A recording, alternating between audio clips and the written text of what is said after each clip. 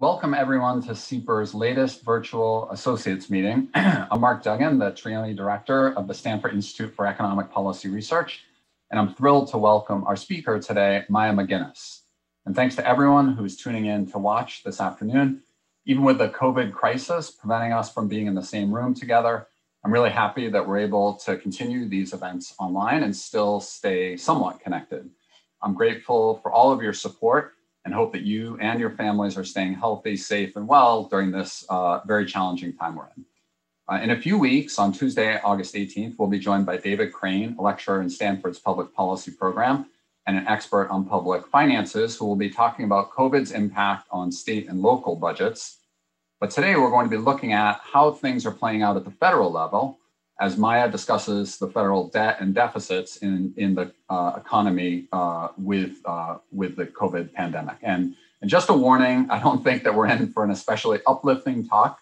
Uh, the United States so far in the, uh, in the current fiscal year has run a $2.7 trillion deficit uh, for the first nine months.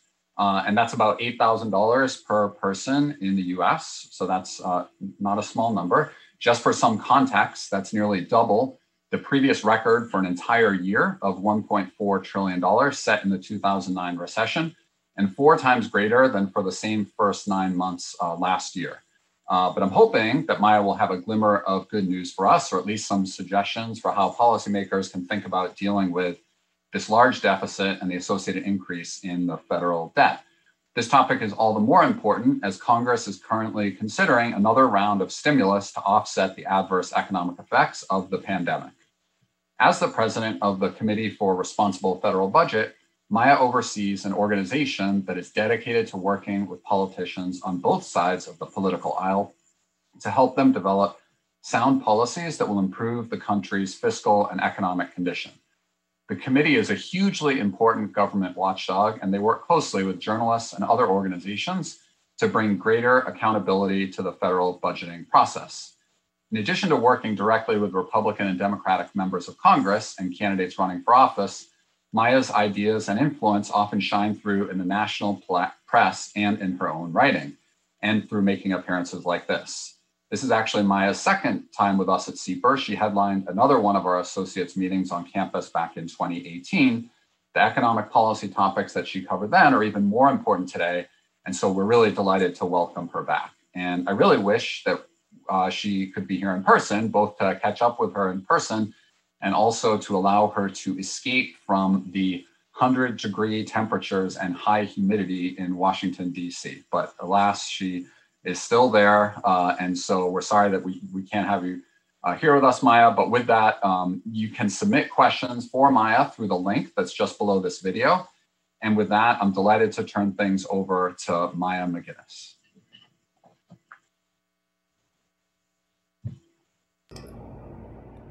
Thank you. Um, does that work? Can you hear me? Like the obligatory Zoom check. Um, and in in that nice introduction, you forgot to say high temperatures, high humidity, and broken air conditioner in the second floor.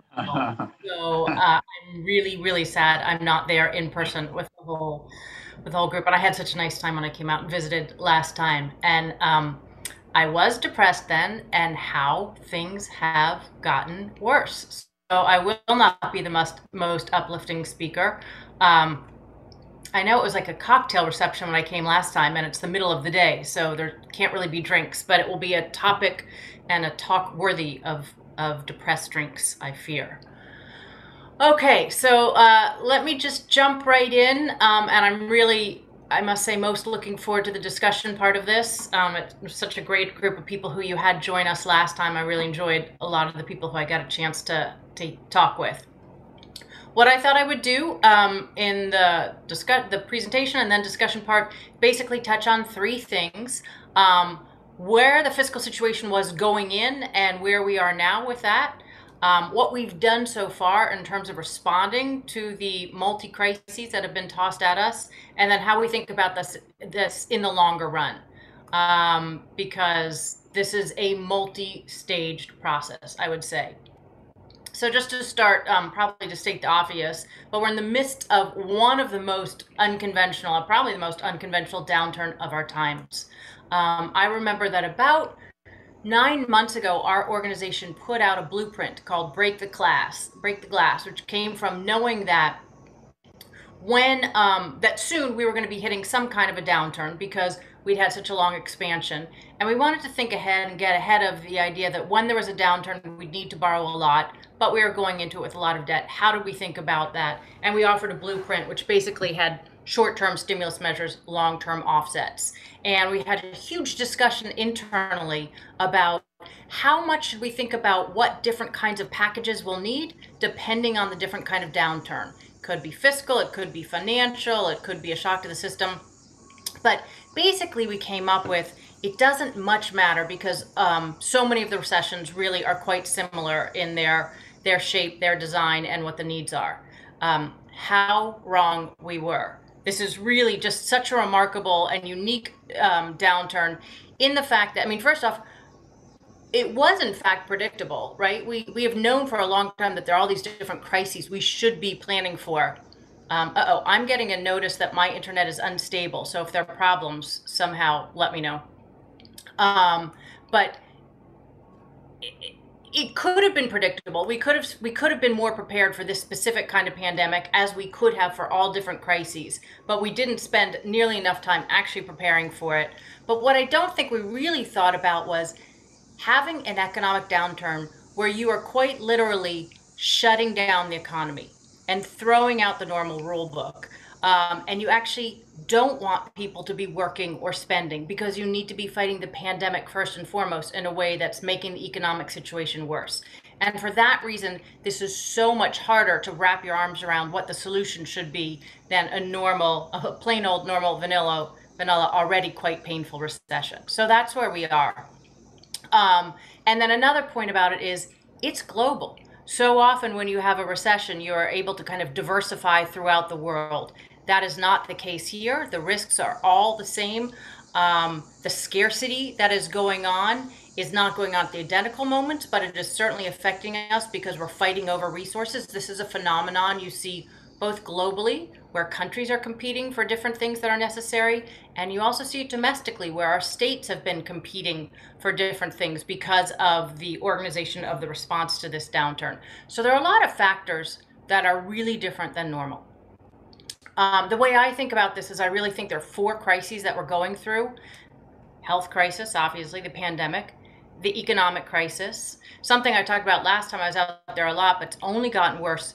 The polarization crisis, the fact that how divided we are as a country, and obviously we can see this in the fight about masks, but how we take basically any opportunity now at both the government level and it's becoming at the citizen level um, and find a way to disagree on it and that makes finding any response more difficult. As we'll talk about, the, the first layers of response to this were quite impressively bipartisan. I fear that that level of cooperation is coming to an end.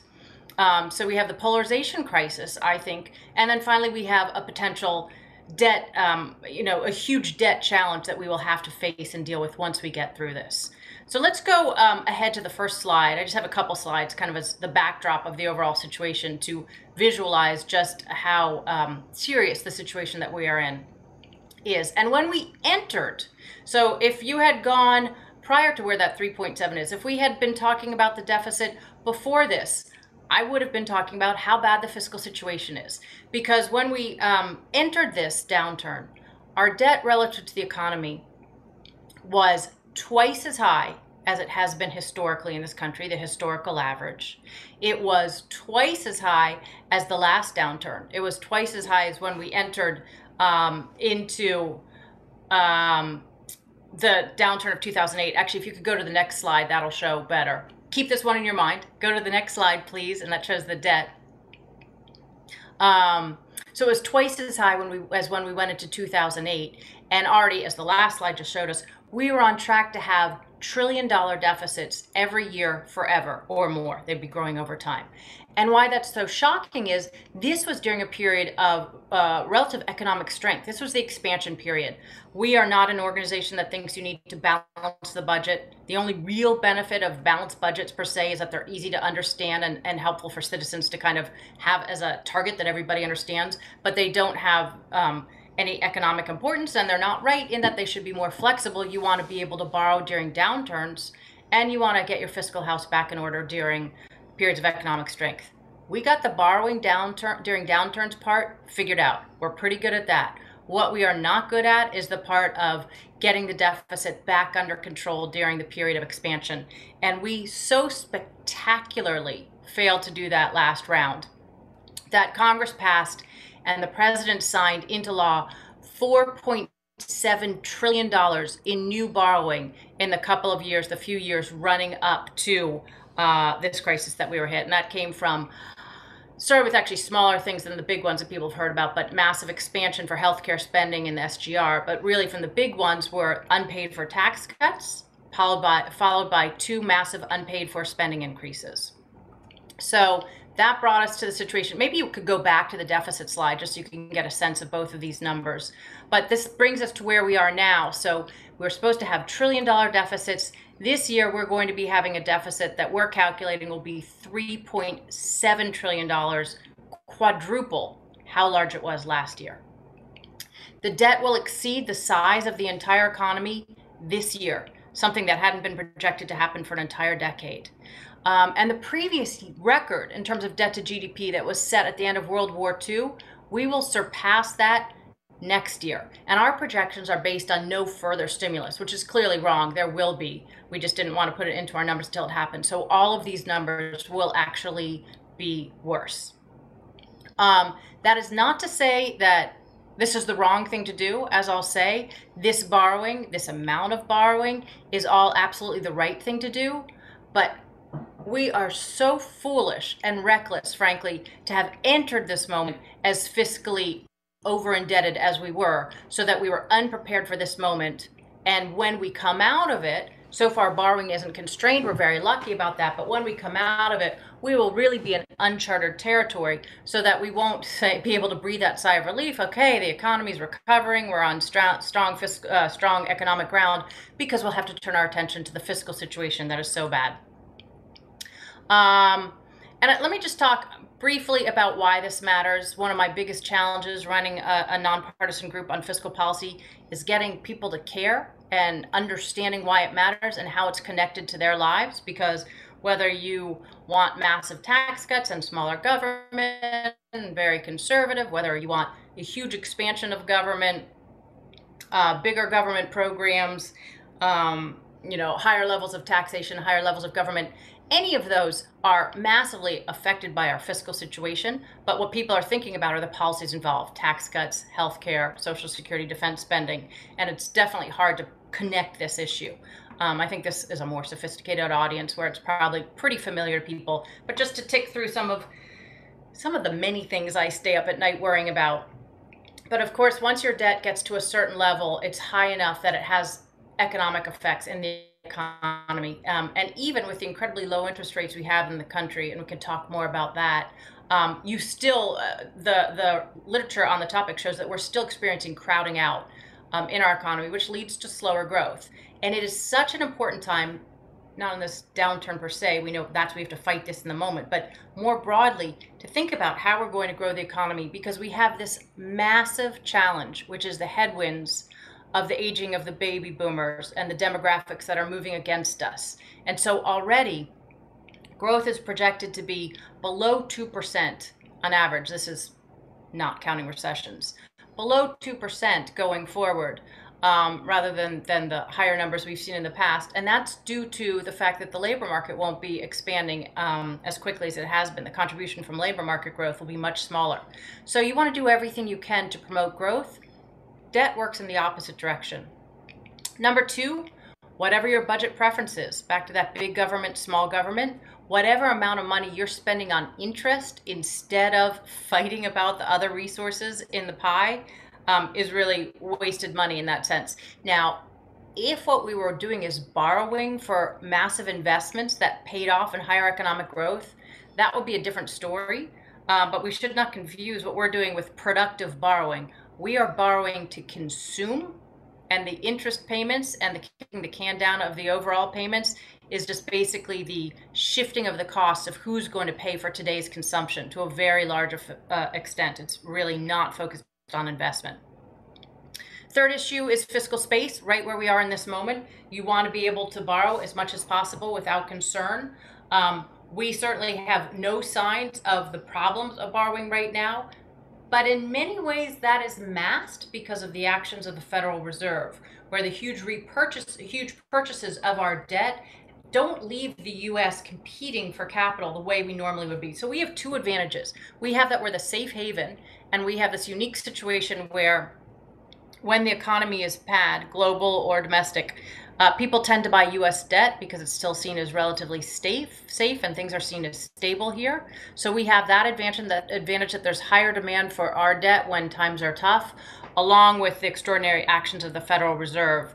But all that um, to some extent artificially keeps down interest rates that papers over the cost of all the borrowing we're doing and in many ways it pushes forward the date of reckoning when you have this much debt this much de- demand um, how how that will play out in interest rates and or inflation and or currency issues fourth issue i'd put there um, it's just the missed opportunities before this moment, it was so apparent the huge shifts that were going on in our economy that we needed to be thinking about, primarily from issues like technology, changing the way the economy is going to work and the workforce is going to work, and the notion of what things a safety net needs to worry about.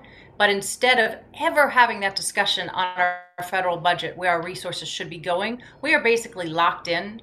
Our dollars are pre um, promised to Social Security, Medicare, intergenerational programs like that, and it's very hard to undo any spending that's in the budget. Very, very hard.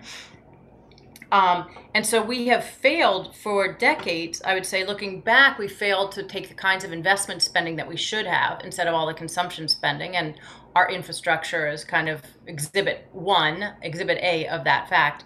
And two, we are in the midst of failing to prepare for the massive and incredibly fast paced shifts in the economy. Where if we were doing this right, all the changes and benefits from technology could be really used to partner with kind of the changes in the economy, could be partnering with technology in a way that could be so beneficial. But I'm very fearful that as we don't get programs of life lifelong learning, real programs of worker retraining, things like this up and running, a social contract that deals with risk and dislocation throughout your working career more than the end of life. We need to shift where these issues are. We're not having any of these discussions, and our budget is old and ossified and outdated. Um, and then finally, there's a security element to this. There's there is a reason that all of the national security experts have pointed to the national debt as one of the major threats to national security. And so, for those reasons, and you will hear from plenty of people these days that the debt doesn't matter, you shouldn't worry about it, with a whole host of lovely sounding theories to back that up. But for all of those reasons, it is a real risk. And the bottom line is, I look at the national debt being exceedingly high as it is as um, a sign of the massive vulnerabilities we have. Being fiscally responsible is really about sort of being um, risk averse to all the different things that could come along and being prepared for those challenges and I say we are failing on pretty much any of those fronts. Um, really wish I had air conditioning. Um, there's a couple things because uh, I've seen in the newspapers some of that wishful thinking, just a couple of the debt myths that you tend to hear a whole lot these days.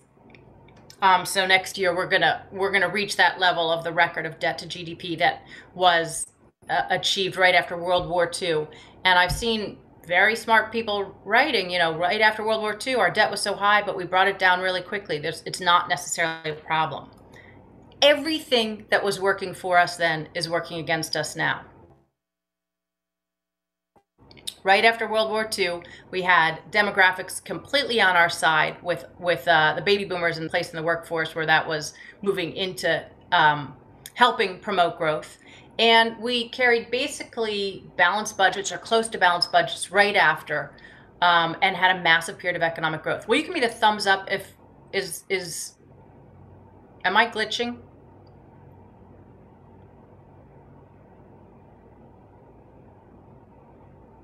You're okay. I think you're okay. Am I? Yeah. Okay, I'm still getting this sign saying my internet is unstable. So sorry yeah, if I'm I, sorry. Yeah, you're okay. Yeah. Uh, don't want it to feel like Okay. So, um, so it's not going to be post World War II. We are not going to bring our debt back down from above 100% to 50% anytime soon. I will be lucky if uh, in my lifetime I see debt as a share of GDP at 60%, which used to be the target we were shooting for on the way back to historical levels. I just think uh, we have gotten so many periods of kind of layering it on and built in problems. So this is not like World War II. The second myth that you hear so much about is don't worry about it, interest rates are so low. Um, that is dangerous. That is a really dangerous thing to lull us into not worrying about it. There's a whole lot of work about there about how interest rates are lower than growth. Don't mat, don't worry about it. The more you take advantage of that and borrow, the more that relationship becomes unsteady, just like my internet keeps telling me it is. So the more you borrow, the more you push interest rates up against the growth rates, which come down. Um, also, there is the actions of the Fed, which are not guaranteed at all to be the same as they are going forward. I think we put the Fed in a very complicated situation where if interest rates do go up, it has a massive effect on us fiscally. And so it's much harder for the Fed to manage the economy. Um, but nobody should be thinking that the laws of economics are gone and interest rates will be low forever. And if and when they go up, it's like um, it's like a credit card teaser rate, right? The higher our debt load is, the more vulnerable we are to increasing rates. Um, okay, let's now move on to what we've done since we got here, and we can move on to the next slide. That's one that we already saw. That's the debt. And then the next slide talks a little bit about where we are and what we're up to. So we have launched this program I'm really excited about, and I encourage everybody to go look at it COVID Money Tracker at the Committee for Responsible Federal Budget. We will be tracking all of the money that is approved to fight the recession and pandemic, um, the money as it's dispersed, so how much is out the door, and the overall deficit impact because some of this money will come back um, because it was in the form of loans where some of the money will be permanently put into the economy. Um, and it's really helpful. I use it all the time because there are dollars changing. There's a different chart on it, um, which you can also look at, but it's really neat. It sort of shows what kinds of this this one that we're looking at right now shows us the agency, whether it's legislative, out of the White House, administrative, which is a small amount, or the Fed, which is a massive amount and the next chart, and I'm happy to go back and forth between the two of them, shows where the money has come from and where it's gone to. And so I really encourage people to take a look at this. Um, here's what I would say about our response. I think, excuse me. I think our response at so far in the beginning of, of this downturn was truly, truly remarkable. And I say that acknowledging all the glitches. And there will be tons of stories of PPP loans that went out that just have the least sympathetic recipients you could think of. And frankly, with every one of those stories, it leads to the loss of trust that we need to have, where people actually believe that the trillions of dollars that are being spent are not going out for political reasons. Um, and when you see the stories where it's not right who got them, or it might be right, but it doesn't sound right on the surface. Every one of those harms further activities. And likewise, there have been real challenges that I've been struck by, and like, God, our systems feel like they're from the 1930s. I mean, it's ridiculous how outdated our systems, with everything from not being able to get money into people's pockets in a reasonable amount of time to our incredibly outdated UI systems in the states, which can't talk to each other and can't update their funding. So we're at this point where we have crazy policies where we have bonuses, which leave many people getting more in unemployment funds than they were getting paid to work. And that's obviously counterproductive in terms of the incentives it creates. So there are a lot of glaring examples of what have gone wrong. But I say those to get them out of the way because the story is here we put a lot of money in the economy in a bipartisan fashion that for the most part did an exceptional job of of of meeting the three T's of what you want to do, which is temporary, timely, and targeted and got that money into the economy really quickly. And I think it was a heroic effort. And again, for a Congress that could fight about the color blue, it was really good that it was able to be bipartisan and done in a way. For a moment, it felt like the country could come together around a crisis and that this could help um, be a unifying moment as response went out. So, huge, um, I think, uh, credit goes to that. And it's it is really interesting to see the work that's been done here, but so much of it. So the legislative policies, um, three point six trillion dollars has been passed, and about um, this is a little bit outdated. A little bit more than two trillion has been put into the economy already. And as I said, the really huge amounts of money are what the Fed have made available so that there are just unlikely to be liquidity concerns when there is such a commitment to the doors to loans um, and through asset purchases, keeping keeping interest rates down. There's such a huge commitment there. Um, so we could switch to the next slide just to be able to see. Um, I think that's really interesting to think about how the money's gone. There's stories out there all the time, you know, sort of the anti stories of all the money's gone to Wall Street. The, a really significant focus of this has been getting money into small businesses. It's debatable the extent to which um, they will survive. The longer this goes on, the more questions will start to come up about are we propping up businesses? Industries that aren't going to survive. We've had a phenomenon in this this economy with interest rates being so low that it's put created both asset bubbles and massive amounts of investment in, in keeping companies alive that shouldn't necessarily be. Um, there's a huge risk that that will happen here, but there was no time to sort that out in the beginning process. Um, I do think as we have more time now and we start to contemplate contemplate the next rounds, it's really important to try to move from the timely that we did so well into the targeted of really starting to think about where the long-term shifts in the economy are going to be and make sure if we're putting another trillion or more into the economy we're consistent with the direction the economy will go in both as it's as it's kind of hanging on in life support now but also as it starts to recover. Okay so if we think about what we're going to for the next package i would say it is as certain as anything in washington is these days that we will have a next package There is certainly broad-based agreement of kind of all lawmakers, whatever they're saying, that there needs to be something. I mean, there are some who are starting to talk about the debt as a reason not to, but I think they are hiding between this behind the safe cloth of knowing that a package will pass without their vote. So I think everybody uh, believes and kind of understands that the economy is not able to walk and stand on its own quite yet. So there will be another package.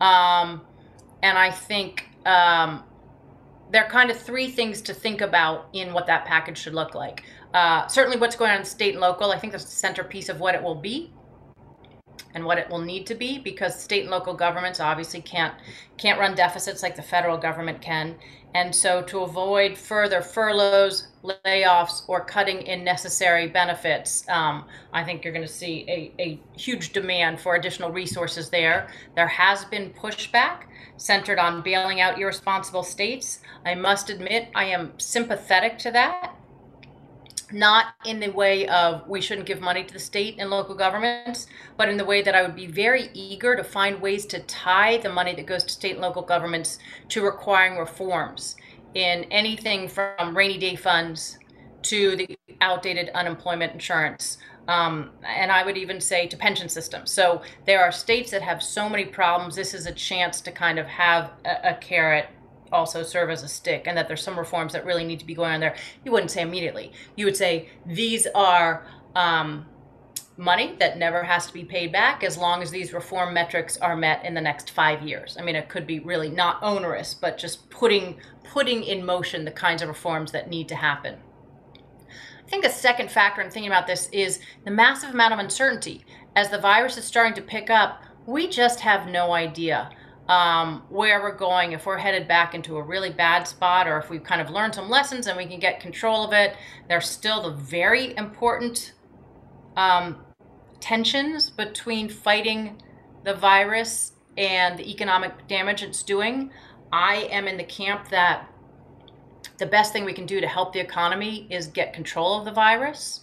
But I also think this last may last long enough that we should be thinking about how to have an economy that can actually um, exist while we are fighting the virus. So, spending some money on the kinds of things that would make certainly essential work safer and um, medium levels of work doable, that all seems very important to me.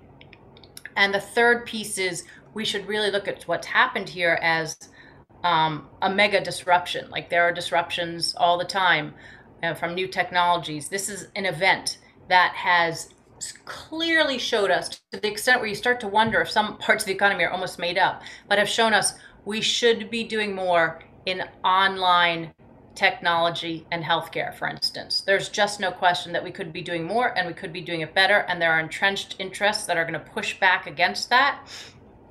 Um, but it's critically important to take this moment to understand what trends of changes are going to happen and help them happen more productively and consistent with long-term changes in the economy. So I think um, starting to think about recovery packages that will be consistent with those longer-term trends is really important.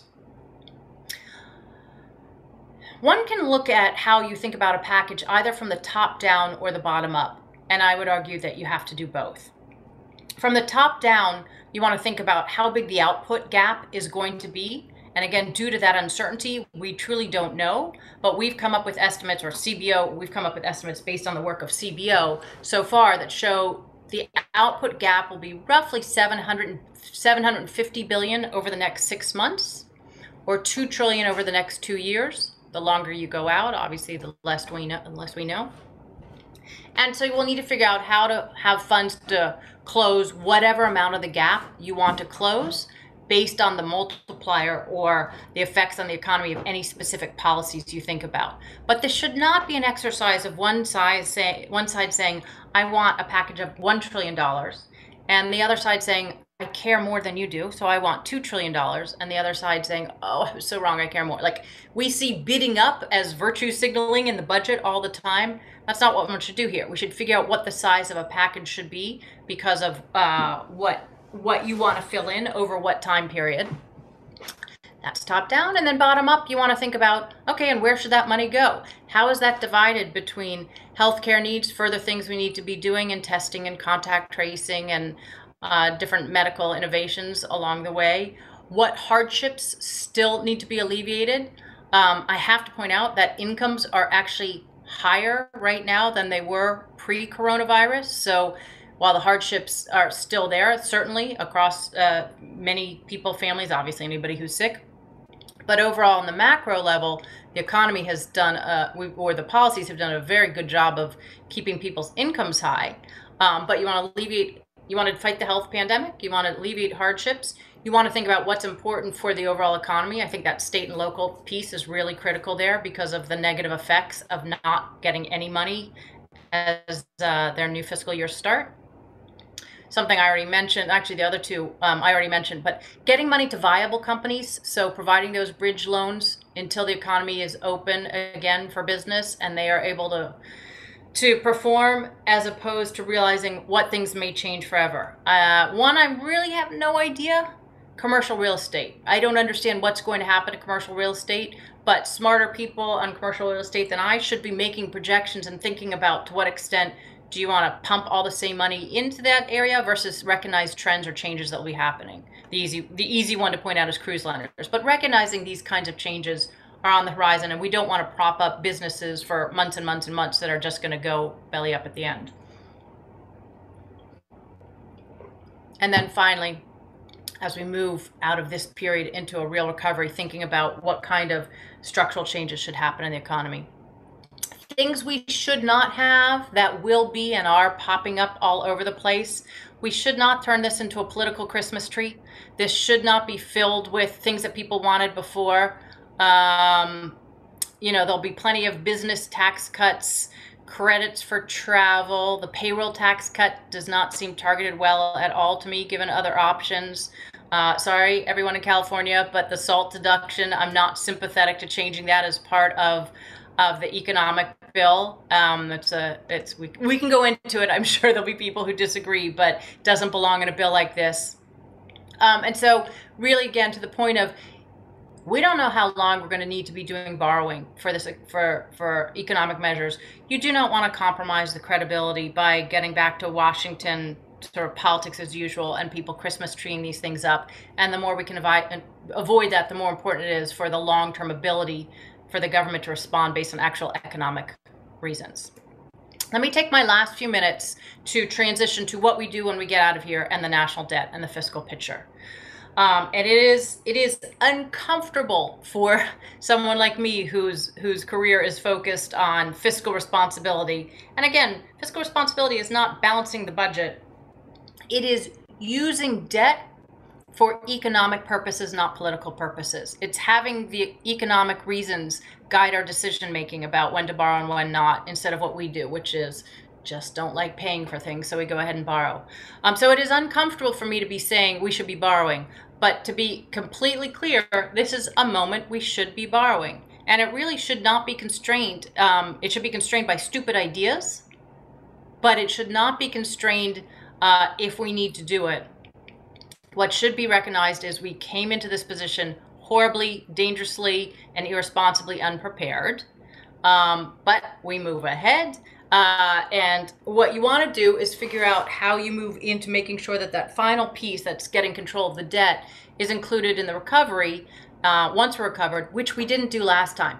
The deficit did come down when the economy improved, as it would have on its own, but we didn't ever take smart measures. We did take some stupid measures, letting some tax rates go back up and the sequester, which were both broad, non targeted, non pro growth policies to get the debt under control. When what we should have done is smart entitlement reforms, um, tax reform that included uh, the lower rates, which we got, but not the broader base. There, there's a trillion dollars in tax expenditures every single year in our budget, so many of them which are inefficient and regressive, and there's no oversight on them. So we should have done smart fiscal consolidation during the last last recovery period. We didn't. We need to next time.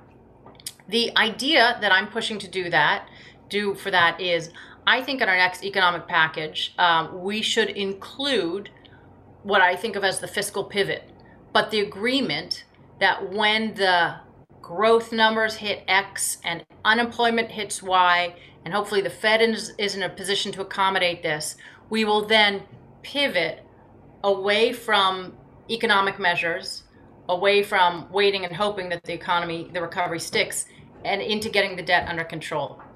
And you can focus a lot on the kinds of policies that are that kind of have cumulative effects gradually, putting in things that phase in slowly, whether it's raising the retirement age in our in our entitlement programs or changing our calculation to change CPI, which is the right way to calculate inflation, changing some of those tax expenditures, there are a whole lot of gradual policies that we could kind of even agree to now as soon as possible and recognize that they should phase in if and when, but for sure, when the economy is strong enough to accommodate them. My um, small, like, bright light of political optimism comes from the fact that there are 60 members in the House of Representatives, 30 Republicans and 30 Democrats, if you can believe it, who signed a letter suggesting exactly that. Um, Jodey Arrington from Texas and Scott Peters from California are the two who've taken the lead on that letter. Really did an impressive job of bringing together a very bipartisan group from the extremes. And, and we hold these really neat meetings with them where we bring in speakers and talk about the debt. So many of these people have never worked together before, but they do believe that in order to borrow now without worrying about it, you need to agree that you will get control of the fiscal situation later. And they have very different visions of what that should look like, but they agree that there should be a framework with which to do it. And that has been highly, highly encouraging to me. Um, the last thing is just what the kinds of ideas they put examples of what might work there. One was a fiscal state of the nation, which is every year you would have a report that talks about the fiscal, the finances of the country and that would be presented to the country. That's nice. It's such a nice political thing because it could actually make a bit of a difference where it focuses attention, but it's not hard at all. Like, honestly, whoever objects to the fiscal state of the nation will be, in my mind, the kind of people who just can find a no in any place you look when there should be a yes. It just, there's no reason to object to something that's just more, better transparency. So there's ideas like that that are relatively simple. Um, all the way to the notion of putting in debt targets, debt to GDP targets that you would start to strive for. So instead of going up to 108 and 110 and 115, we would phase that down. Right now, when you pass a budget, there's no budget constraint. You can borrow as much as you want. There's the debt ceiling, which probably should be um, replaced with something more workable now that's kind of become weaponized in political discussions. But that's literally the only constraint that's there. So debt to GDP targets that phase in more aggressively once the economy's strong could really work. or the final idea, which is something called the Trust Act, which I love. It has bipartisan, bicameral sponsors. In the Senate, it's it's um, kind of the developed by Mitt Romney, and he's partnered with um, Joe Manchin in the Senate. And there's a number of co-sponsors, both sides. And what that says is any program that has a trust fund, Social Security, Medicare, highway. Um, if that trust fund is going to run out of resources in 15 years, it would have a special commission that's put together to try to fix that program. So you would look at each of these programs on their own Social Security, Medicare, other programs.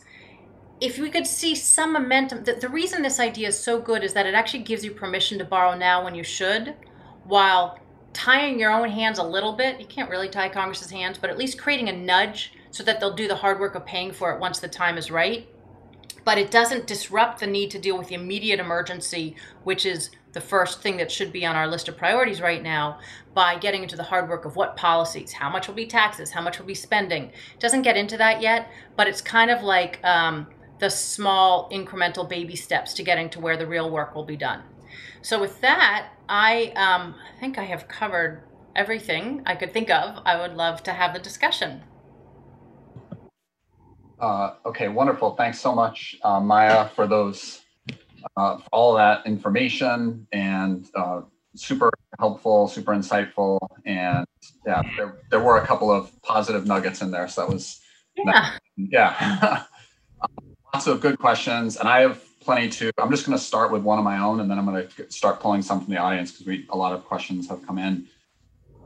So my question for you um, is how so today on the front page of the Wall Street Journal, there was this really striking picture that looked at the daily number of new COVID cases in the US versus the EU.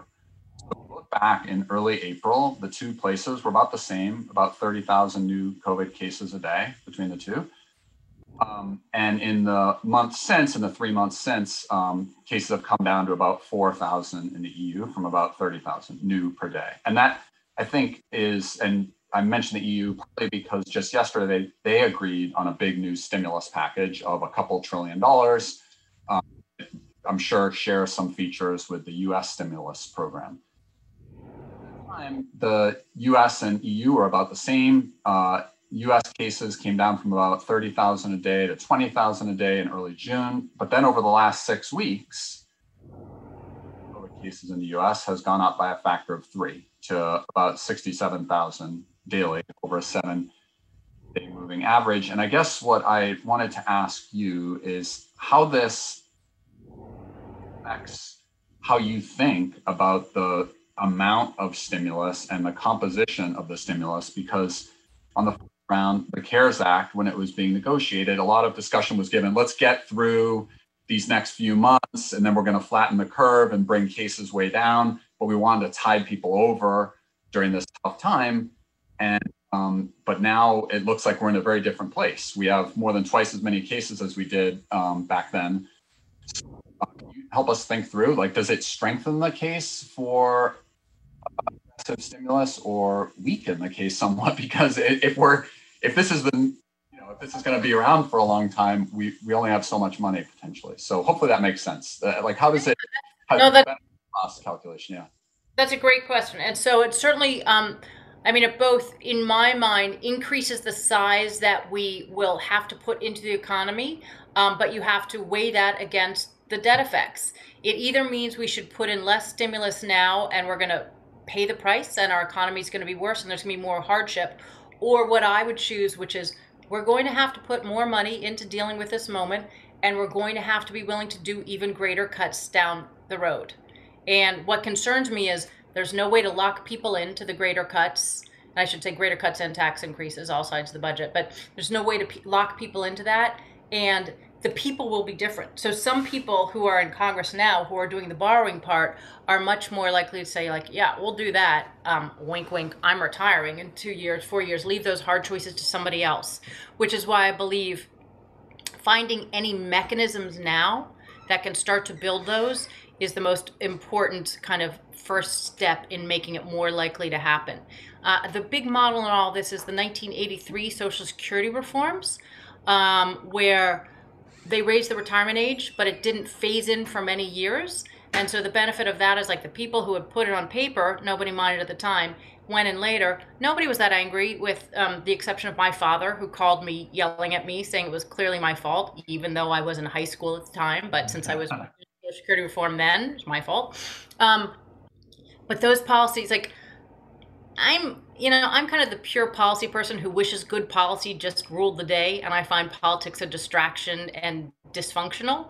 But you can't do what I've done for this long without starting to realize you better be realistic, or you're going to be banging your head against the wall, which is what I've done for my career.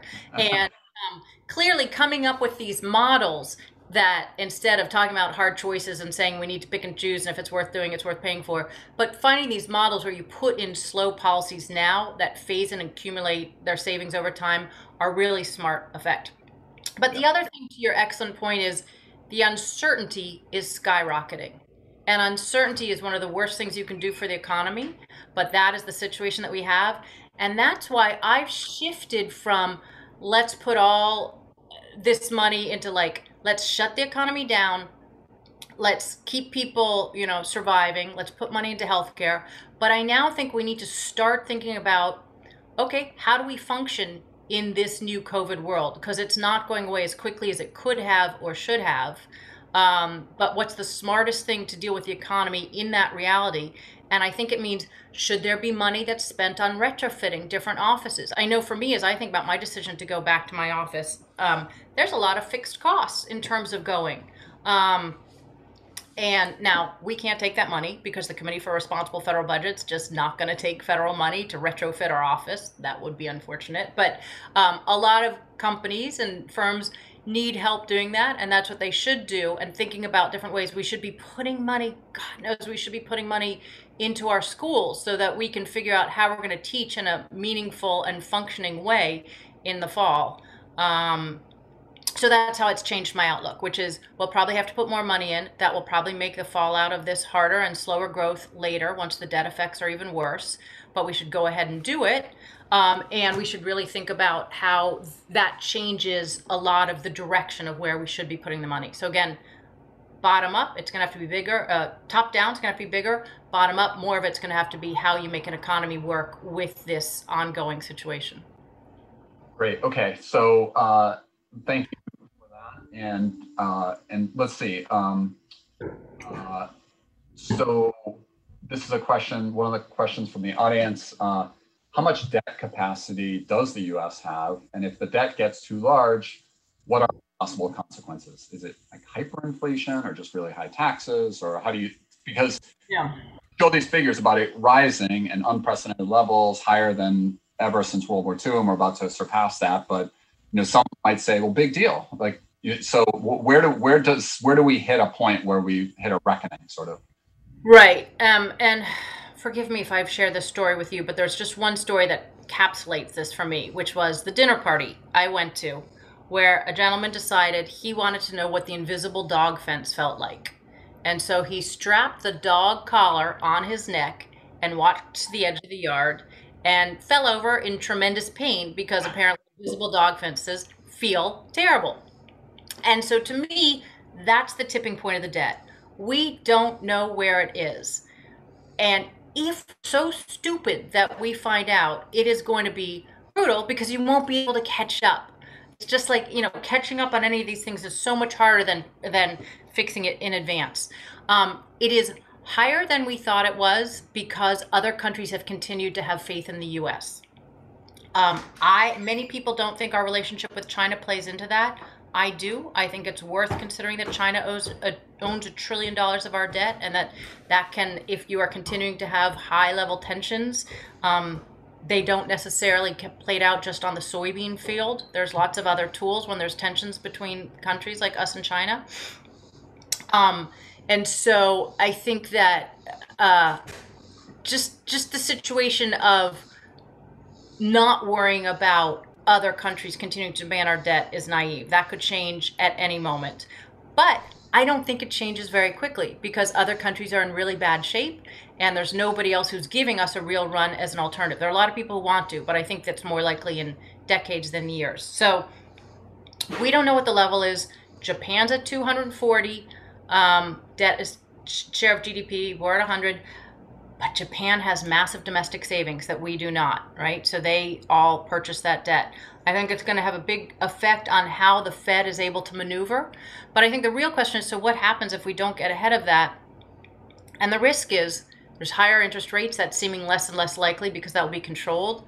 There's inflation, and there's what I think is probably the realest risk, which is, and there are probably a bunch of people who are here in this conversation who are more experts than I am. Um, uh, but the effect on our currency is what I'm really worried about. I think this changes the dynamic of the US dollar and it, it speeds up the change in that. And I don't think you realize how good it is to be the currency that's the safe haven until you lose it. And it seems like we might lose it in record time if we don't figure out how to budget more responsibly. Right. Really interesting. Um, that's great. And I do think yesterday, I can't remember if it was Wall Street Journal or New York Times, but they sort of contrasted the very different budget situation that Germany entered this uh, here here in the U.S. that they had been running a, a surplus. But uh, in, okay, so another question from the audience: Do you think there will be a point where we will no longer have enough money to both finance our national debt while continuing to fund our other needs like defense and so forth? Well, we always have enough money because we can print it, um, but that's not a good thing to do, right? That's what leads to all of the other problems with, throughout the economy. Um, but I think more relevant than than that is, I don't think there is a political willingness to go to the levels that we would need to finance the debt we have on the trajectory we have. It's not just the debt where we are; it's that the trajectory has us borrowing and I'm sorry, I forget the exact number, but 14 trillion or more over the next 10 years that we've already built in. So it's that the debt is at close to unprecedented levels and it's projected to grow faster than the economy forever. That's what makes something unsustainable if it's growing faster than the overall economy. So you have that and you have huge polit- I mean if I don't know how to count how big the different divides between the two parties are. I say this as a political independent who is exasperated with parties parties in general don't understand uh, don't feel that they serve much of a purpose these days. But if you look at the divides, the different preference between small and large government is so big that there is a huge portion of the country that is not going to accept the government growing significantly higher, right? It's on track to grow from where it's typically been 20 21, 22% of GDP up to close to 30. That's before you start to meet the all the unmet needs that exist. So we have focused on consumption at the expense of investment. Where we'd increase the investments and even try to catch up and deal with new threats. I think our defense budget is painfully and dangerously outdated and ready to fight all the wars of the last century and none of the ones of this century. So if you were to start investing in those areas, you're talking about massive growth in government. There is seriously a political constraint way before you get there. So that is really one of the problems that I see. I don't see how this plays out that we are able to make good on things we've put into the budget as promises, um, finance this ongoing level of debt in terms of the interest, and even contemplate some of the unmet needs. And that's before the kinds of promises that you're hearing from some folks um, in terms of massively expanding Social Security, right? Like giving me more Social Security benefits. Please don't. Please don't do that. Let's use that money for something else. But there's a whole lot of promises massive expansion of existing benefit programs before we even deal with the things that I'm concerned about, which is the lack of investment in human capital, the fact that I think our budget does very little for ch- for children compared to what it does for seniors, um, for basic R&D, a lot of the research and development issues. So there will be constraints. It's not from printing money, but it is both economic and political. Okay, thanks for that helpful answer. Another question has to do with uh, just sort of a mechanical issue about financing the deficit.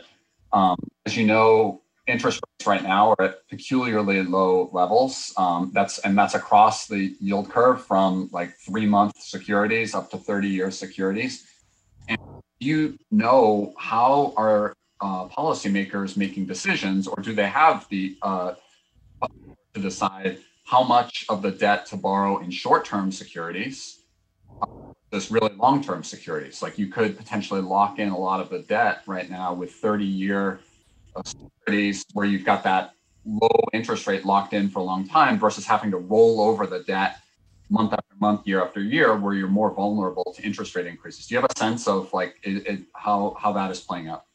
Yeah, that was something that a lot of people were pushing a number of years ago, and I know that Treasury has done. Re- I mean, Treasury's always thinking about. It. They have massive models that balance the different needs in terms of cost and liquidity, and keeping the available amounts of Treasuries for different maturities that there's a demand for. So they are well on top of that. Um, and recently they were looking at that because again rates were so low and we were issuing so much debt, and there was not a demand for the long-term Treasuries for the long-term. Um, 30 and even people are talking about 50 and 100 years. So there is you have to look at how much the demand is and, and locking in at those low rates was not appealing. Um, so i don't think there'll be as much of a switch as they were contemplating from what i understand. Another thing i want to point out because one of the big myths is that low interest rates basically mean i mean this is this confusion is running it's quite politically convenient convenient it's running pretty widespread out there but low interest rates make these things free and that is 100% not true. Low interest rates mean that the cost of borrowing is extremely low, much, much lower than certainly I would have ever thought it would be with this fiscal situation. Um, and that's from a variety of factors from globalization to long term pessimism about growth and demographics to the activities of the Fed. But those low rates mean it's very, very cheap to borrow, but it doesn't mean you don't have to pay for what you're doing. So if you're borrowing $100 billion, you can delay the cost of paying it, but you still have to pay the $100 billion with some small amount of interest on it. And so what you're doing is you're shifting the costs of something to somebody else. Uh, my kid, who you kind of saw in the background a little bit there for a moment, like he's a teenager. I think he totally deserves us to give him 20, 20 trillion dollars in debt. I've been locked in a house with him for four months. But normally it is not the view of all of us that we should make the next generation pay for all the things that we are not. And so borrowing in so many ways is saying, oh my God, asking people to pay for what we're doing or doing trade offs and cutting some of the spending is so hard. So let's borrow. And confusing rates are so low with we should go ahead and do that for everything. It still has to be worth the cost. And I just think that's so important on interest rates because it's like, it has just spread like wildfire, kind of this notion of like, oh, it makes that thing free. We should get everything now. Right. Okay, another, I'm going to try to get in two more questions from the audience uh, before we wrap up. Uh, so the first one is the markets, based on the pricing of inflation protected bonds, seem to be anticipating some moderate inflation over the next few years, but continued near zero short term rates. Do you agree with that assessment? I think inflation, okay, so first off, one, I briefly worked on Wall Street, left, and found a, a passion for fiscal policy, but also realized I can't predict anything. Two, no one can predict inflation very well, including markets. Um, three, the most, I can see like every scenario. The most logical scenario to me is that inflation stays incredibly low right now. Um, and that is uh, because the demand is not going to exceed the ability uh, of, of, things to buy and including sort of uh, trade flows, it makes that very, very unlikely. But it could be that we, the economy, you know, suddenly takes an uptick and suddenly there's a rush to, to, to buy and spend and produce. It could, the dynamics could change really suddenly. But I think what's likely is inflation stays quite low for a short amount, for a medium amount of time, probably longer than a couple years. But that then this whole dynamic of pumping this much money into the economy, no matter what we're trying to do to like hold it back and build a dam against it, I think it does push out. So I think we're likely to see, not likely, I think it's quite plausible we will see significant inflation in the medium term, but it's not what keeps me up at night right now. What okay. keeps me up at night, I should, besides everything, um, I should be clear is that it's the weakening of the country. It's not any one thing. It's not interest rates are going to happen or the dollar. It's not all like which thing's going to move in the economy. It's that we are running our country for the short term with no strategy, no focus on the long term, no concept of what sort of a sustainable growth set of policies could look like. And I just feel like we are a country that is running our running our nation blindly. And so my biggest concern is that our fiscal situation reflects how irresponsible we're being and sort of thinking about what the challenges and opportunities are in the world and how we should be setting ourselves up to meet them. Because we could be. My God, I look at your background, I look at Stanford, like where the both things come out, right? We could be doing so well on so many fronts, and I feel like we're just walking ourselves into that invisible dog fence over and over and over again. Did that really happen? The invisible dog fence? Really happened. It is a vision and an experience that does not leave you, does not leave you the same. It was scarring. Wow. Okay. Let's... Super boring, and that spiced things up. And thank God it wasn't me who thought that would be a good idea. But yikes. Yeah. Wow. Okay. One last question. We're slightly over, but uh, I'm a senior living on Social Security plus investment income, already using some capital each year. How worried should I be? Not at all. Um, I mean, if I were making the, if it were for, for me, and you are a senior who's living on a ton of investment income, I would say you shouldn't get all of your Social Security. Uh, but that's me. I'm not in politics. I'd never be in politics, nor would I ever win.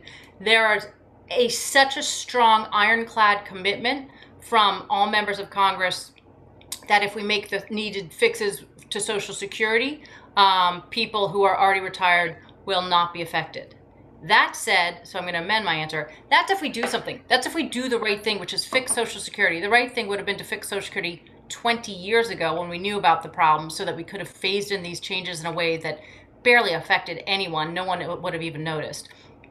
We've waited so long that the changes we have to put in place will be painful, either on the tax or spending side. They will affect people who either count on Social Security for a significant amount of their retirement or, or a, a moderate amount, and or people who don't really can't afford a higher payroll tax are going to get hit with one. So we've waited so it's going to be painful.